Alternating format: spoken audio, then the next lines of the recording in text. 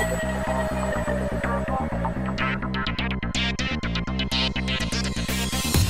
Les, combattants de l'arc-en-ciel, ça, vient d'une sorte de, prophétie indienne de, plus de 150 ans qui disait qu'un jour où la Terre serait en très mauvais état, des gens se lèveraient, quelle que soit leur origine et leur race, pour sauver la Terre, ce seraient les combattants de l'arc-en-ciel. Donc je trouve que la, force symbolique de, cette vision est extraordinaire, d'une part, et d'autre part aussi, euh, c'est le fait qu'il y ait eu cette, attaque, hein, cet attentat contre le premier Rainbow Warrior en, en 85. C'est vraiment le symbole à la fois de la désobéissance civile, à la fois de David contre Goliath. Donc ce, bateau effectivement est très chargé symboliquement.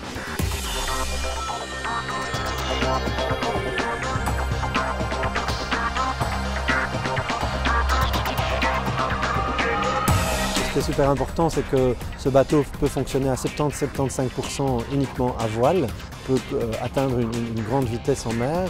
Ça c'est un premier point super important puisque c'est un outil de campagne pour nous.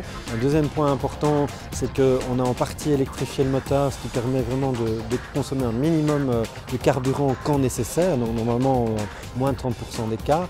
Euh, la coque a été vraiment conçue pour ne pas être trop consommatrice d'énergie. C'est vraiment une série d'innovations qui en font une référence en matière maritime.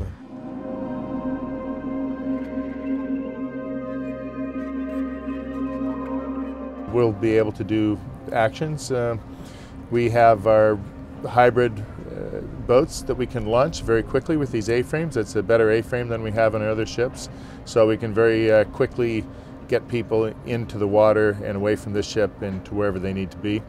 We have a very good communication system so we can get our message out to the world. We also uh, have set up some things for research. We can uh, load containers on deck if need be. We can uh, remove the backstays and land a helicopter on deck. And uh, it's a vessel that's very easily adapted to whatever campaign need we have for it. Greenpeace, euh, depuis 40 ans, préserve une indépendance totale, ne vit que des dons de ses supporters et c'est grâce à eux qu'on a pu financer ce bateau. On est euh, euh, prisonnier de personne, on est juste prisonnier de nos idées de nos envies de changer la planète.